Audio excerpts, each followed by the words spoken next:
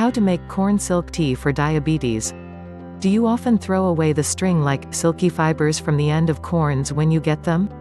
Well, don't do so from now on, as these fibers, also known as corn silk, can be made into a tea that can be used for our delay health needs. With corn silk tea, you get loads of vitamin C and powerful antioxidant that helps prevent the damage of free radicals and cardiovascular diseases. Corn silk tea is great for people with high blood pressure. Procedure How to make corn silk tea. 1. Boil 1 tablespoon of corn silk, chopped, in 1 cup of water.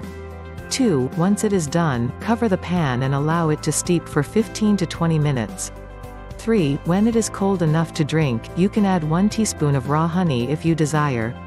4. You can store the remaining tea in your refrigerator for 2 to 3 days. Fresh corn silk is a food that contains easy to assimilate nutrients.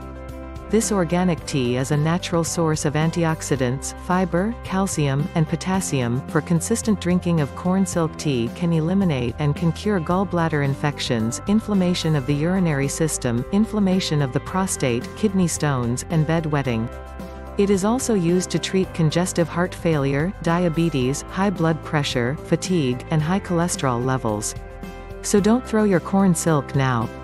For more info. PLS. Subscribe to my channel, thanks for watching.